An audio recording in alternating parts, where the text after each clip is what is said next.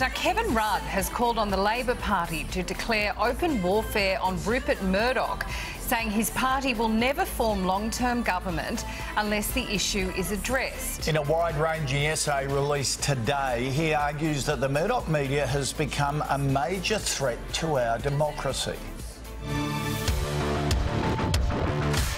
Kevin Rudd is an outspoken critic of Rupert Murdoch.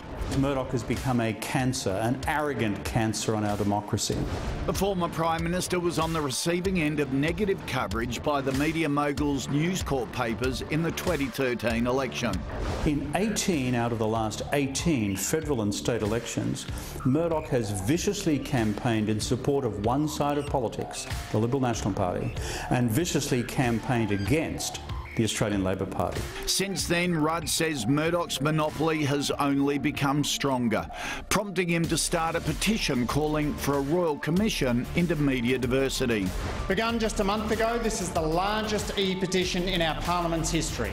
The petition attracted more than half a million signatures, but the government rejected the call for a royal commission, saying the Australian media was already vibrant and diverse. Probably the uncomfortable truth in this building is that everyone's frightened of Murdoch.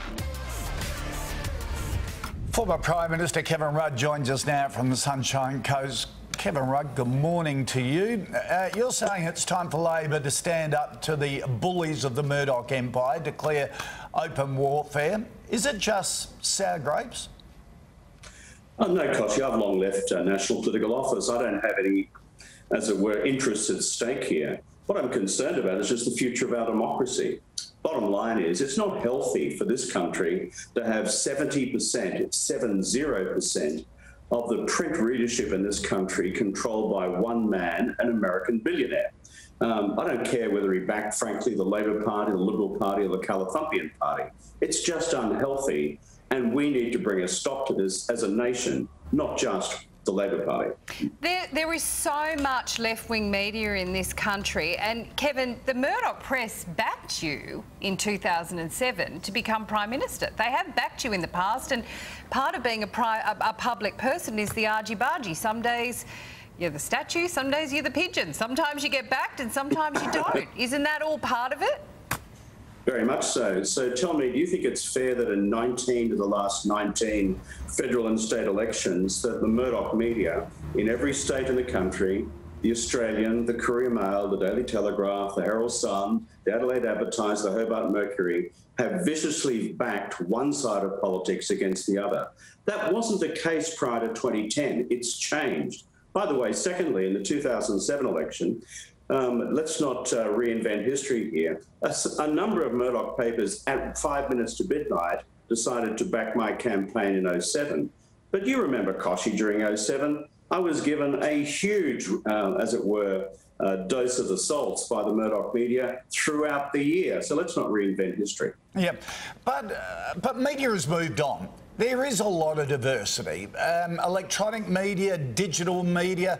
Um, you've had newspapers sort of being reduced in terms of of their power and their influence. No, I understand that, Kochie, except that if you go to content and what's covered, for example, in the electronic media, television and radio, and in the digital media on all the digital platforms, the bulk of it still comes out of what is originally covered in print. And also, for all of your viewers in regional Australia, bear this in mind that their print newspapers locally, right across Australia, have been shut down, more than 100 of them by Murdoch in the last two or three years. In fact, last year alone. So people are being denied their local news as well. I'm just calling for a fair go for everybody doesn't matter whether you vote Labor or whether you vote Liberal. Everyone should be given uh, a decent uh, airing of their of their viewpoint and their policies, etc. And that's no longer the case in our country. Um, and uh, the print stuff flows through to the content of all the other platforms. That's why print is still so important.